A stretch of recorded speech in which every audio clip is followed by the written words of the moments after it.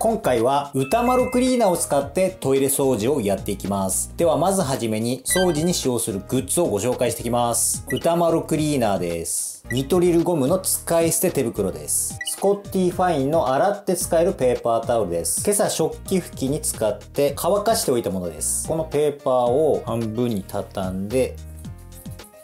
はい、カットします。この2枚でトイレ本体と床や壁の拭き掃除をやっていきます。クイックルミニワイパーです。このヘッドに先ほど半分にカットした洗って使えるペーパータオルをセットします。はい、セットしました。3コインズの使い捨てロールスポンジです。水を入れたスプレーボトルです。こちらも水を入れたスプレーボトルです。100g 入れております。そこに歌丸クリーナーを1回、2回、3回、4回、5回入れてトリガーを締めてよく混ぜてこの薄めた歌丸クリーナーで拭き掃除をしていきます。以上となります。では掃除を始めていきます。それでは蓋と便座を下げて薄めた方の歌丸クリーナーをペーパーにかけましてしっかりなじませてタンクから拭いていきます。先にホコリ取りは済ませております。ウェーブハンディワイパーを使ってホコリをしっかり取りました。どんな感じでホコリ取りをしているのか気になる方は以前ホコリ取りの様子の動画を撮りましたのでその時の動画を概要欄に貼っておきます。では蓋の内側を拭いていきます。左利きではないんですけれども右手に三脚のレバーを持って拭いてますのでちょっとぎこちなく見えるかもしれませんがご了承ください。はい。便座の表面拭きましょうか。便座の表面はペーパーが綺麗な状態で拭くのが一番いいですよね、はい、しっかり拭きます。では便座の裏ですね。今便座の表を拭いて裏を拭いてますけれどもコンセントが刺さってる状態ではスイッチが動いてしまって便器内に水が流れてしまいますんでコンセントを抜いて掃除した方がいいですよね。そうしましたらここの溝ですね。でも汚れやすいところですのでしっかりこう爪を入れ込むような形で拭いていきます。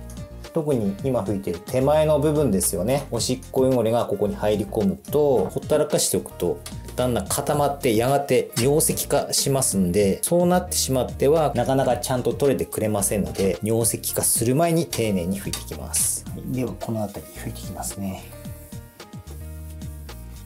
そうしましたら便座の縁を拭いて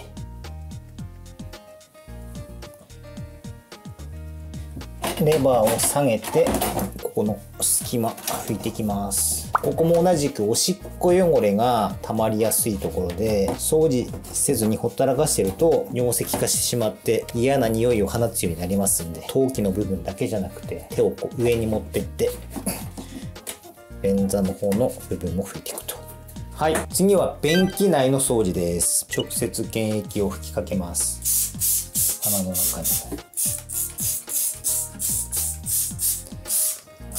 このぐらい吹きかけましたら 3coins のロールスポンジを畳んで今回新品使いますけれども結構丈夫なので食器洗いに使った後洗って乾かしておいて便器内掃除に使うと節約につながると言いますかリサイクルになりますのでそっちの方がいいと思いますけれどもこのスポンジの質感が伝わらないと思いますけれどもザラザラしてるんですよ表面が。なので研磨力は結構あるんですよね。そういったことで便器内の掃除に定期的に使っております。ジョンソンの流せるトイレブラシありますよね。それと比べるとかなり研磨力あります。これだとしっかりこすり荒れができますんで便器表面に鱗水垢つきやすいですよね。そういった水垢も力を入れてしっかり磨くことによってある程度落ちてくれるのかなという感じがします。分厚く鱗汚れがついた状態ですと落としきれないことが当然ありますけれどもその時はクレンザーを使うとよく落ちると思います。重曹でも落とすことができるんですよ。以前重曹を使って鱗汚れを落としたことがありますんでもし気になる方はその動画も概要欄に貼っておきます。ご覧になってみてください。ではしっかり絞って当然流せませんので燃えるゴミですね一旦手を洗っていきます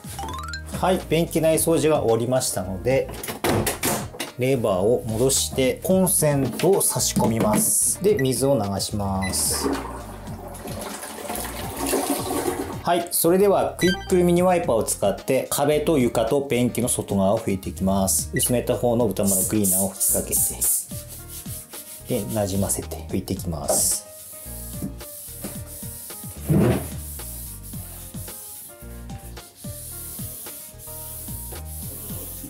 く高さは、まあ、あまり高いところは拭きません。下の方ですね今回は。はい拭いていきます。反対の壁側も丁寧に拭いていきます。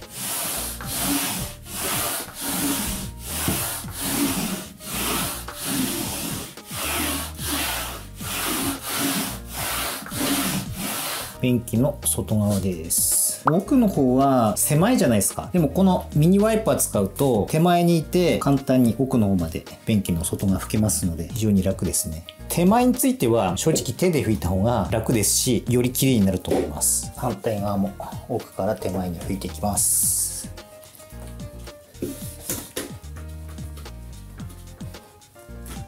残るは床ですね。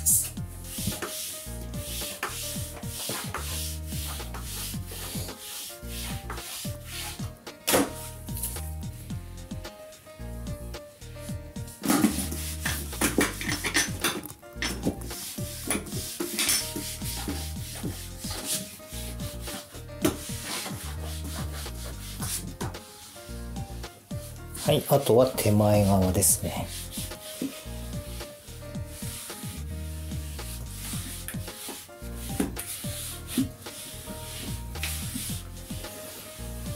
まだノズル周りと洗浄ノズルの掃除をしなかったのでトイレ本体を拭いた洗って使えるペーパータオルの綺麗な面に変えて拭いていきます直接スプレーして拭いていきますね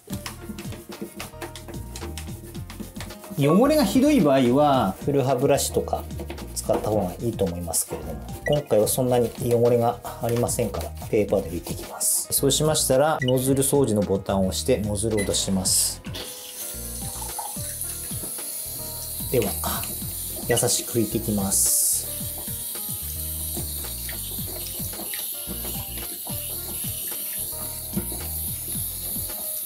水を吹きかけます。でノズルを戻します。はいノズル周りにもしっかり水を吹きかけて。で最後にトイレットペーパーで水気を拭き取って。そして最後に流してこれで終わりです。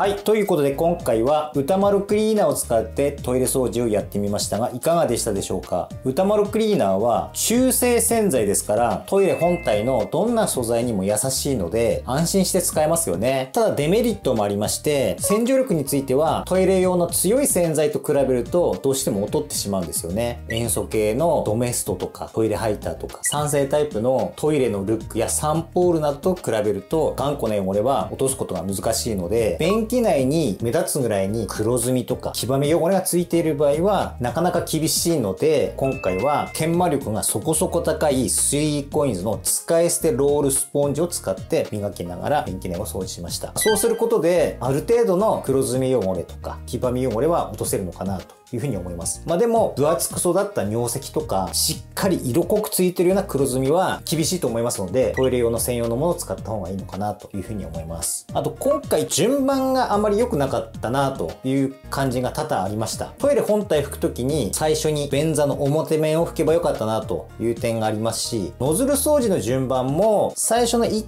回目流す前に掃除しておくと、水を流す回数も1回で済んだと思うんですよね。そういった感じで、お掃除の順番って結構大事なんですよね。より最適な順番で掃除を終わらせることができれば、お掃除の時間を短縮できるだけじゃなくて、節水にもつながったり、洗剤とかお掃除道具の使う量を減らすということにもつながって、結果節約につながると思いますので、トイレ掃除を始める前に、一旦頭の中で手順をこうシミュレーションして、それから始めた方がいいのかなというふうに改めて私も思いました。ということで、今回の動画が少しでも皆さんのお掃除のやる気につながれば嬉しいです。どうもありがとうございました。茂木和也の YouTube チャンネル、茂木流掃除講座。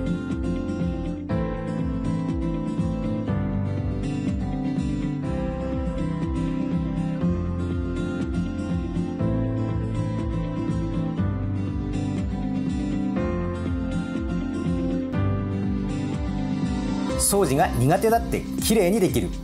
いつまでも。